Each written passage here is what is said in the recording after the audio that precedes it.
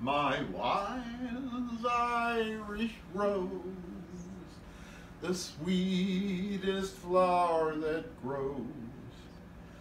You may search everywhere, but none can compare with my wild Irish rose, my wild Irish rose, the dearest flower.